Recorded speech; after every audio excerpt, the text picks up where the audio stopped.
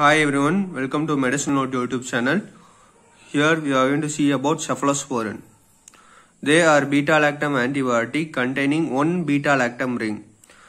In this structure, it contains one beta-lactam ring. So the, these uh, cephalosporins are known as beta-lactam antibiotic. Cephalosporin is obtained from a mold Cephalosporium acremonium. It is a fungus species. It is obtained from a mold Cephalosporium acremonium. There are number of semi-synthetic derivatives prepared from cephalosporin. There are uh, more number of synthetic semi-synthetic derivatives are prepared from cephalosporin. According to the based on microbial activity, antimicrobial activity, they are classified. The cephalosporin are classified into five generation. They these drugs are taken orally and parenterally.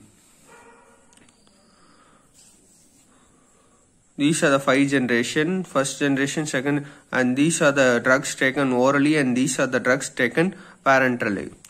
What is the mode of action of this cephalosporin? It is similar to penicillin G, prevents bacterial cell wall synthesis.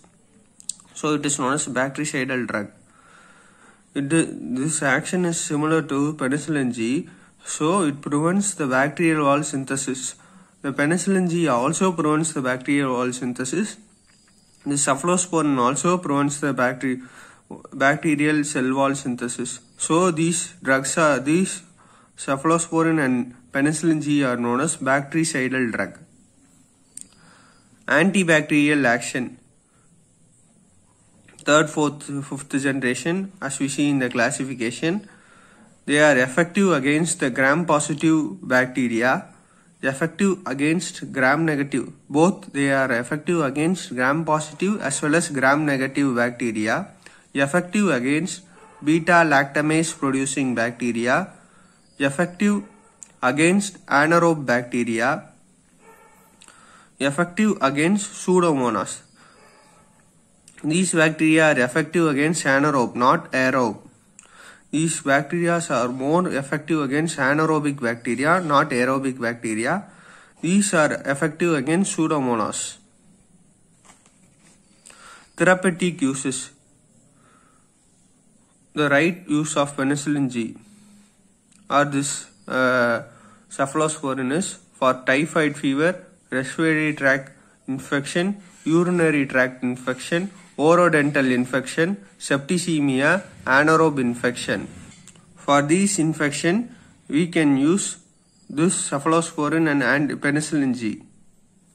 Adverse reaction. Mild hypersensitivity reaction.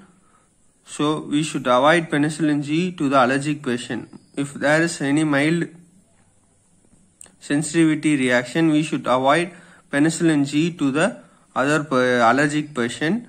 Disulfiram, disulfiram, like reaction with alcohol. This disulfiram, uh, if we inject to the alcohol drinking person, they induce this induces to the person like vomiting and allergy.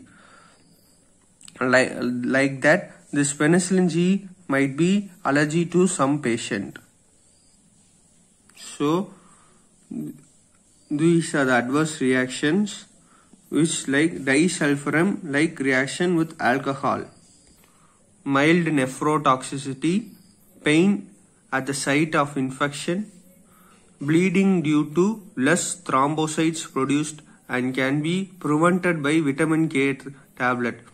There is bleeding due to less thrombocyte so it can be prevented by vitamin K tablet.